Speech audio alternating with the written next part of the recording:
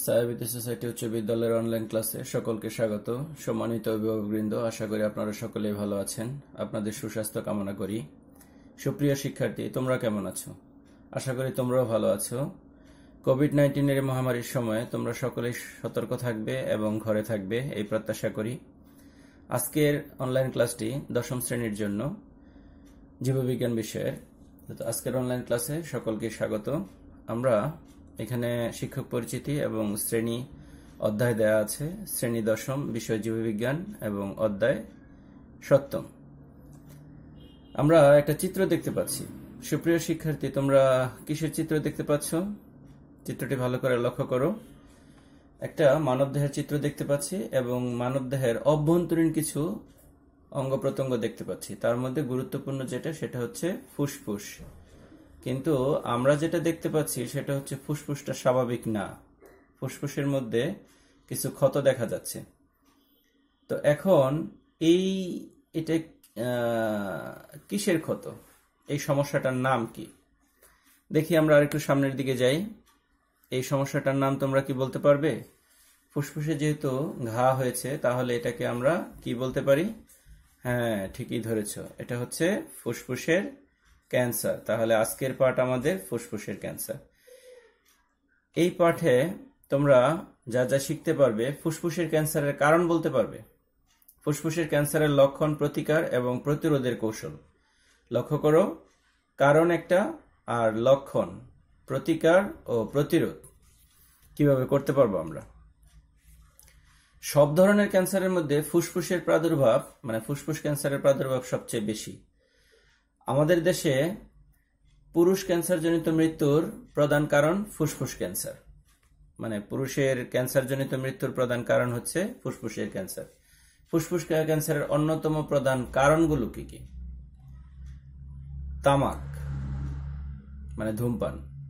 ধোঁয়া, কেউ যদি তামাক গ্রহণ নাও করে, তাহলে মানে কেউ যদি সিগারেট নাও খায়, সাথে যে দাঁড়ায় থাকবে সে এই, এটা দ্বারা মানে ক্ষতিগ্রস্ত হবে।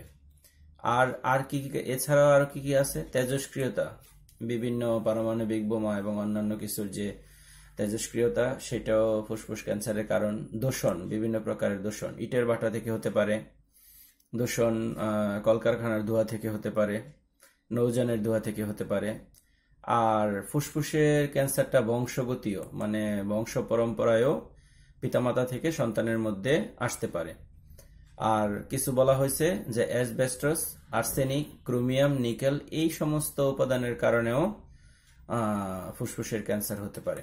আর আরেকটা হচ্ছে যে বয়স্কজনিত কারণেও ফুসফুসের ক্যান্সার হতে পারে। তাহলে আমরা দেখলাম যে ধূমপানের কারণে প্রধান কারণ হচ্ছে ধূমপান। এর জন্য ধূমপান থেকে দূরে থাকতে হবে। আমাদের এই দেশের মাদক মহামারীর মতো ছড়িয়ে পড়েছে। বিভিন্ন প্রকারের অত্যাধুনিক মাদকের কথা আমরা শুনতে পাই।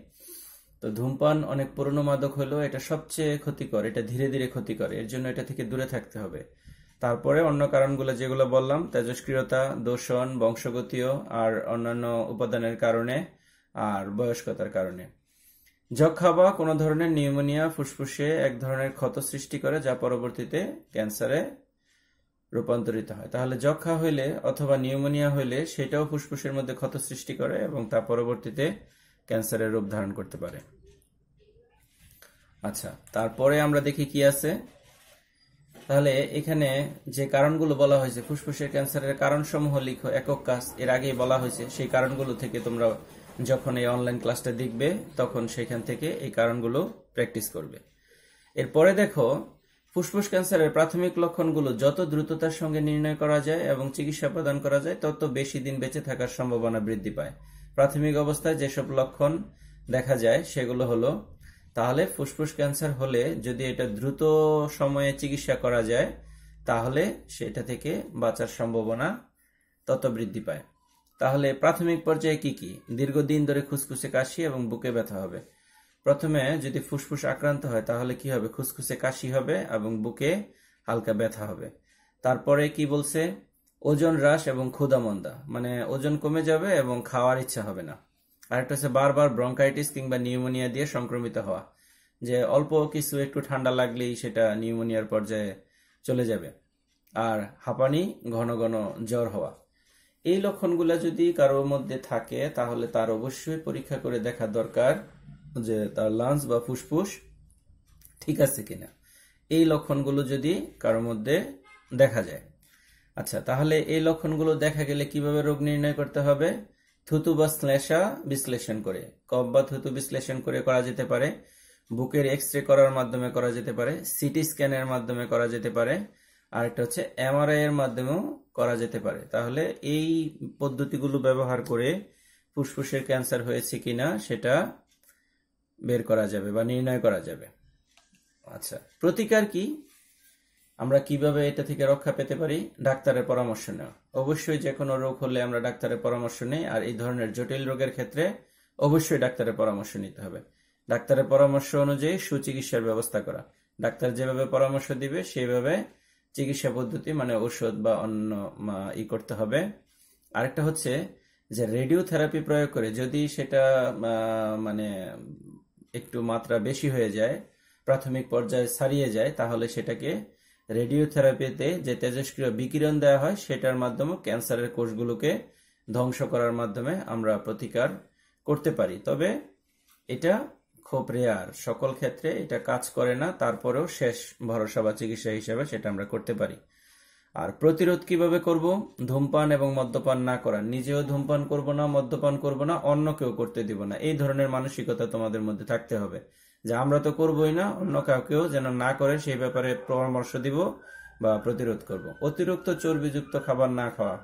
সুপ্রিয় শিক্ষার্থী, বিপজ্জনক অবস্থা। তোমরা কিন্তু মানে সুযোগ পেলেই ফাস্টফুড খাও। এখানে দেখো ছবিটা ফাস্টফুডের সুবিধা আছে। এই ফাস্টফুড আমাদের জন্য আসলে ফাস্ট ফুড না। ফাস্ট ফুড হচ্ছে আমাদের লাইফের লাস্ট ফ্রুট তার মানে হচ্ছে যে এগুলা খেলে আমাদেরকে নিশ্চিত মৃত্যুর দিকে নিয়ে যাবে। এর জন্যই বর্তমানে যে জনপ্রিয় ফাস্টফুডের আমরা দেখি যে হোম ডেলিভারি সেগুলা কি করা যাবে না? সেগুলা খাওয়া যাবে না। এর জন্য অতিরিক্ত চর্বিযুক্ত খাদ্য খাওয়া থেকে আমাদেরকে বিরত থাকতে হবে। আর এইখানে দেখো, এই ছবিতে কি দেওয়া আছে?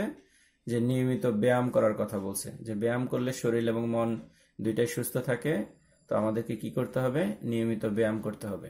আরেকটা কাজ করতে হবে, পরিমাণ মতো শাকসবজি খাওয়ার অভ্যাস গড়ে তোলা। দেখো, এখানে প্রচুর পরিমাণে শাক শাক এবং সবজির ছবি দেওয়া আছে। তাহলে আমাদেরকে প্রতিনিয়ত কি করতে হবে? এগুলা খেতে হবে। এই সমস্ত শাকসবজি আমাদেরকে সুস্থ রাখবে। তাহলে প্রতিরোধের, প্রতিরোধ করার জন্য ফুসফুসের ক্যান্সার আমাদেরকে আরেকবার বলি।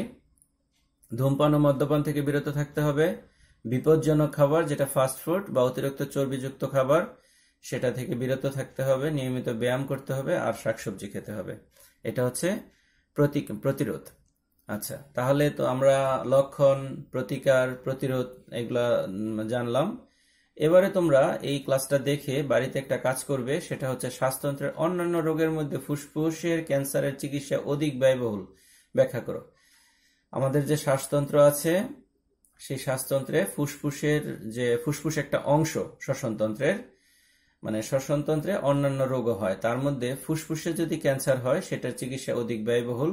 এটা তুমি নিজে চিন্তা করে কেন ব্যয়বহুল? আজকের ক্লাসে যেই, এই যে এমআরআই মেশিন দেখলা, তারপরে সিটি স্ক্যানের মেশিন দেখলা এক্স রে এগুলা, তারপরে সুচিকিৎসার জন্য চিকিৎসা যে উপকরণগুলো বা ঔষধ, এগুলো অনেক দামি।